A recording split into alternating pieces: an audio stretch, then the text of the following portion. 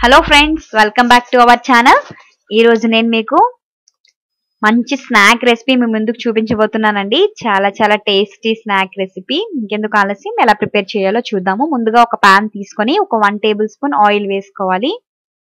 ఇప్పుడు ఆయిల్ కొద్దిగా మరగాలండి ఆయిల్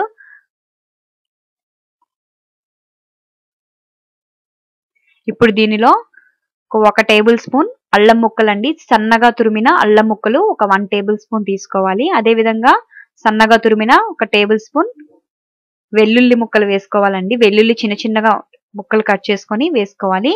తర్వాత ఒక మీడియం సైజ్ ఆనియన్ తీసుకున్నాను నేను ఒక ఉల్లిపాయ. దాన్ని చిన్న చిన్న ముక్కలు కట్ చేసుకొని అది కూడా వేసుకోవాలి మొత్తం. మీకు వీడియోలో చూపిస్తున్నట్టు ఈ సైజులో తురుముకుంటే మనం స్టఫింగ్కి ప్రిపేర్ చేస్తున్నాం కాబట్టి ఇలానే కట్ చేసుకోవాలి. ఇప్పుడు వీటిని కొద్దిగా లైట్ కలర్ చేంజ్ అయ్యే వరకు ఫ్రై చేయాలి. మనకి కలర్ అయితే లైట్ కలర్ చేంజ్ అయిందండి. ఇప్పుడు దీనిలో ఉడికించిన బంగాళదుంప మిశ్రమం వేసుకోవాలి. ఇది రెండు చిన్న సైజు బంగాళదుంపలు తీసుకున్నానండి నేను ఇవి. బాగా ఉడికించుకొని పొట్టు తీసుకొని ఈ విధంగా మ్యాష్ చేసేస్తున్నాను. ఇప్పుడు దీనిలో గరం మసాలా ఒక వన్ టేబుల్ స్పూన్ వేసుకోవాలి. Half teaspoon garam masala వేసుకొని తర్వాత ధనియా పౌడర్ వన్ టీ స్పూన్ వేసుకున్నాను. అదేవిధంగా ఒక సాల్ట్ టేస్ట్కి సరిపడా వేసుకోవాలండి. నేను ఇక్కడ వన్ టీ స్పూన్ వేసాను నాకు సరిపడినంత. అదేవిధంగా కారపొడి ఇది కూడా ఒక వన్ టీ స్పూన్ వేసుకోవాలి. వీటన్నిటిని కూడా బాగా కలుపుకోవాలండి. కొద్దిగా పసుపు కూడా వేసుకోవాలి.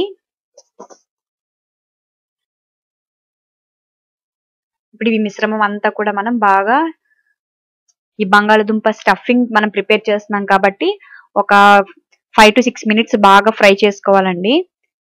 ఇప్పుడు మనకి బంగాళదుంప అంతా బాగా ఫ్రై అయిపోయింది. ఇప్పుడు దీని మీద ఫైనల్గా కొత్తిమీరతో ఒకసారి బాగా కడిగిన ఈ కొత్తిమీర తీసుకొని పైన ఒకసారి వేసుకొని కలుపుకోవాలండి బాగా మనం. ఇప్పుడు ఈ స్టఫింగ్కి మనం పక్కన పెట్టేసుకున్నాం కదా బ్రెడ్ స్లైసెస్ తీసుకోవాలండి. ఈ విధంగా బ్రౌన్ కలర్ ఎడ్జెస్ అన్ని కూడా మనం కట్ చేసేసుకోవాలి. ఎందుకంటే మనం ఇది చాలా బాగుంటుందండి ఈ స్నాక్ అనేది. ఇప్పుడు మనం ఒక బౌల్తో వాటర్ తీసుకొని మెల్లగా బ్రెడ్ అనేది ఈ విధంగా డిప్ చేసుకోవాలండి. బ్రెడ్ అనేది చాలా సాఫ్ట్గా ఉంటుంది కాబట్టి ఈ విధంగా ఒకసారి డిప్ చేసి అరిచేతులు ఈ విధంగా ఒత్తుకుంటే వాటర్ అంతా కూడా ఎక్సెస్ వాటర్ అంతా కూడా కిందకు వచ్చేస్తుంది మనకి.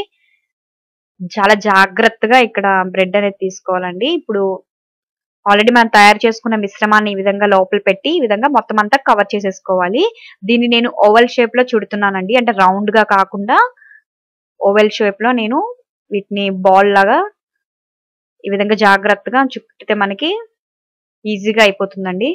ఊడకుండా వచ్చేస్తుంది. ఎక్కడ కూడా జాగ్రత్తగా అన్ని కూడా ఈ విధంగా రెడీ చేసుకొని పక్కన పెట్టేసుకోవాలి. ఇప్పుడు డీప్ ఫ్రై కి ఆయిల్ పెట్టుకొని లో ఫ్లేమ్ మీద వీటిని ఫ్రై చేసుకోవాలండి. గోల్డెన్ కలర్ వచ్చే వరకు. ఏమాత్రం వీటిని హై ఫ్లేమ్ మీద పెట్టుకోవద్దండి. లో ఫ్లేమ్ మీదే చేసుకోవాలి ఇవి.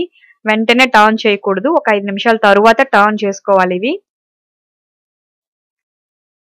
వీటిని మంచి కలర్ చేంజ్ అయ్యే వరకు వేయించుకోవాలి. ఎందుకంటే అలా వదిలేసినా కూడా మనకి చాలా బ్లాక్ కలర్లో అయిపోతాయి. కాబట్టి జాగ్రత్తగా గోల్డెన్ కలర్ రాగానే వీటిని ప్లేట్లోకి తీసుకోవాలి.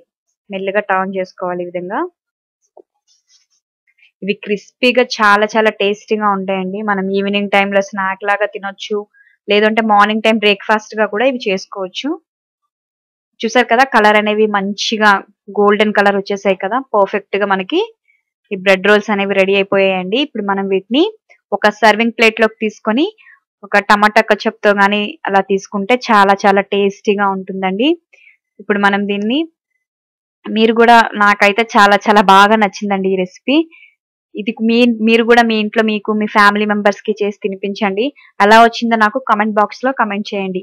ఈ వీడియో కనుక నచ్చినట్లయితే లైక్ చేయండి షేర్ చేయండి. మా ఛానల్కి ఇప్పటి వరకు సబ్స్క్రైబ్ అవ్వతే వెంటనే సబ్స్క్రైబ్ అవ్వండి. ఇలాంటి మరిన్ని మంచి మంచి రెసిపీ